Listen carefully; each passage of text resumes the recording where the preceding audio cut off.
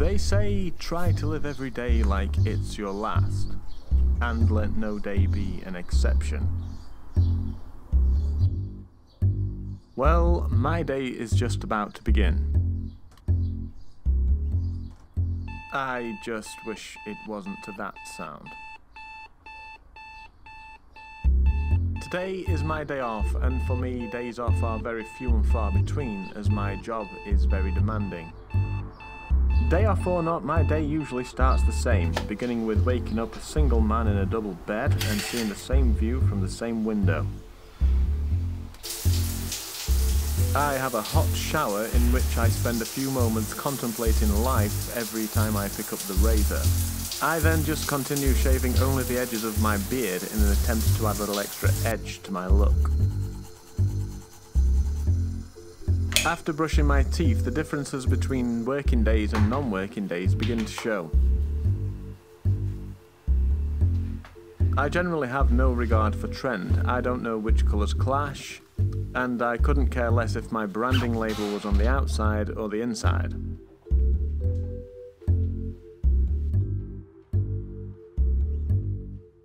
Having time to make a cup of tea is clear evidence that it's a day off, as I'm usually running late by now and maybe add a little extra flavour.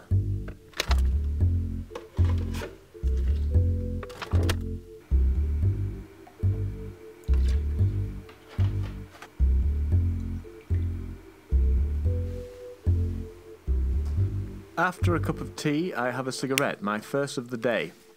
Then head down to my personal space, which I had built with soundproofing, as the walls between my house and my neighbours are paper thin.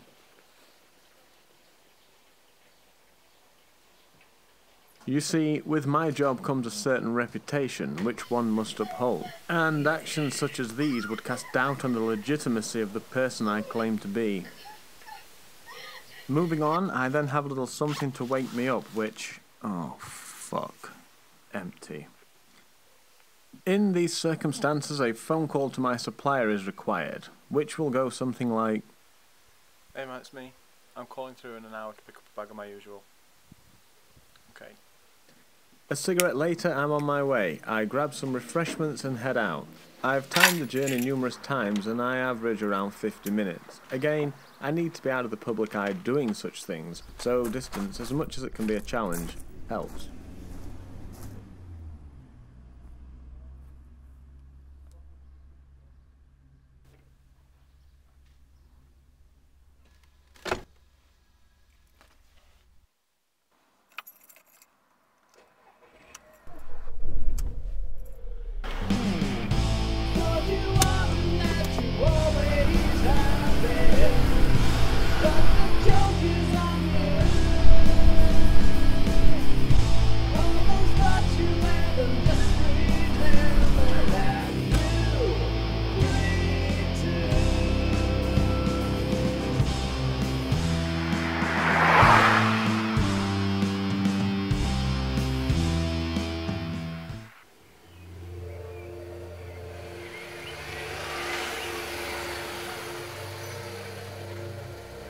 As predicted, I arrive at my destination 52 minutes later, and though I am far from home, I attempt to subtly conceal my identity to some degree.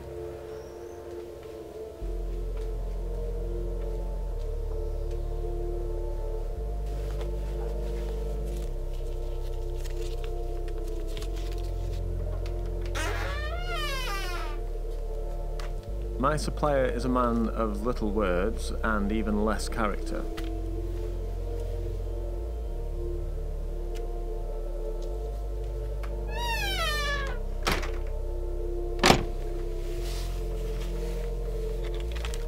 Miles from home, I feel confident enough to sample my purchase without being noticed by anyone who may know me, and for the first time today, I feel alive.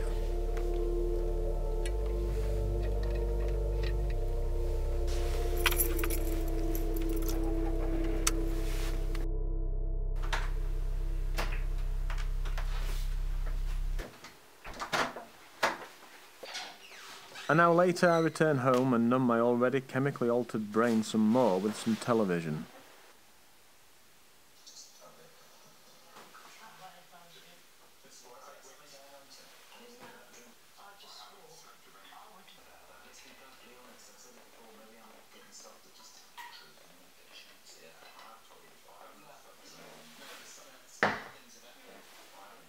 I need to resist that temptation as I am not an addict.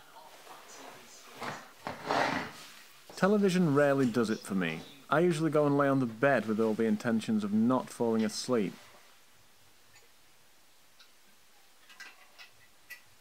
I check the inevitable status of my online dating, which always adds fact to the theory that my compatibility with others is non existent.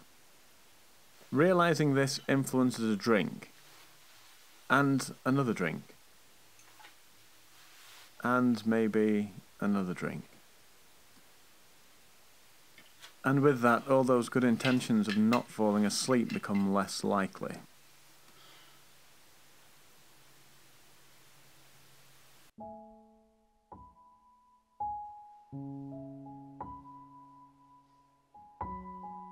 Some considerable hours later, I wake up and realise the day has gone.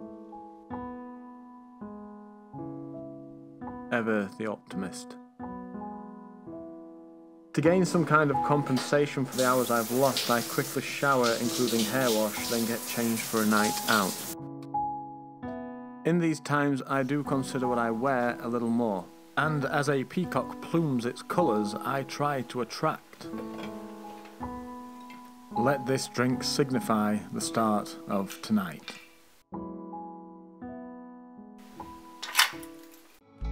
I am to some degree safe in the club, as the people that come here are unlikely to associate with me in my line of work. However, my unorthodox method of attraction, which basically consists of me scrolling the menus of my phone to appear like I have some degree of social life, really should be addressed. Fuck this place. I'm out of here. But not before something to keep me awake and feeling alive.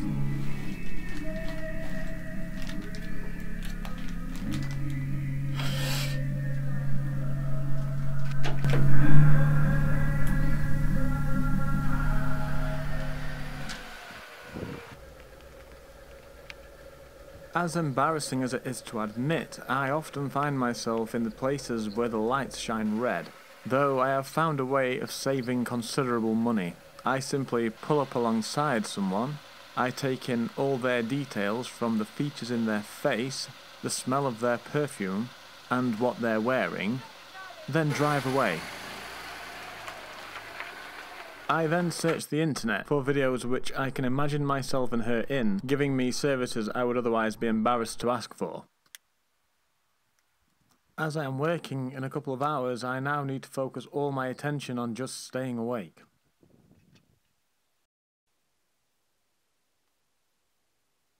I don't know at what point I fell asleep, but what I do know is I now have 1 hour and 22 minutes to get ready and find my way home.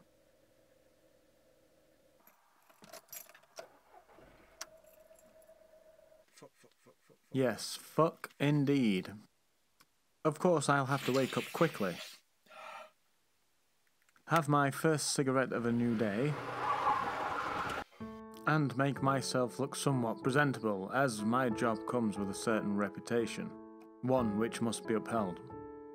Time to put on my brave face and face the crowd. It's expected.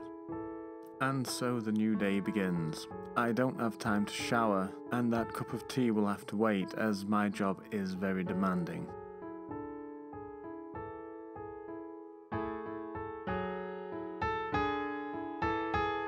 They say you should live every day like it's your last, and my name's John Adams, and I live every day like it's my last.